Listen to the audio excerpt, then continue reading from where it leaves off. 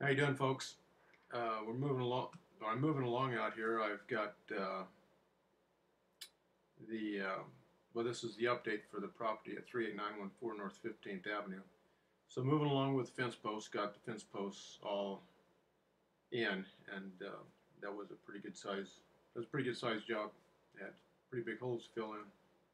And anyway, um, got that done, and uh, anyway glad to have that part of it done. So, uh, starting Monday, uh, I should, uh, yeah, Monday we'll start cutting coping, or I'll start cutting and coping the uh, the posts and and try to get started with the top rail um, by Wednesday or Thursday. And um, anyway, I'll be moving along with the railing. I'll probably do the top rail first, and then come back and put the intermediate railing in, but we'll see how it goes.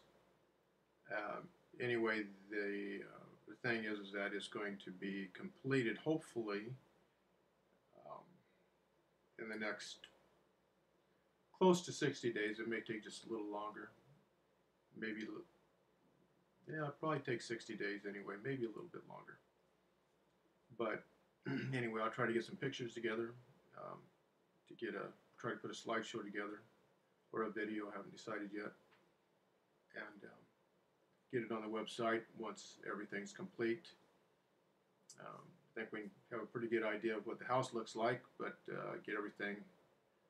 Uh, yeah, I get a big bunch of pictures for the fencing and everything that's been uh, put in for these properties, uh, for this particular uh, property that is 38914 North 15th Avenue, and the additional acre that's going to be going along with it. So it's going to be a uh, two and a half, approximately two and a half acre parcel.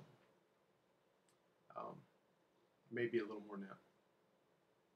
But anyway, it'd be a nice sized parcel. And uh, should look good with the fencing. So anyway, thanks for uh, coming back to the site. Sorry I haven't got back with you in a while been tied up. It wasn't really a whole bunch. Uh, wasn't a whole bunch of progress to report. So anyway, I'll try to keep you updated as the progress moves along out here. Um, have a have a nice Sunday and a nice rest, nice week, and um, God bless. Uh, thank you for uh, visiting my site.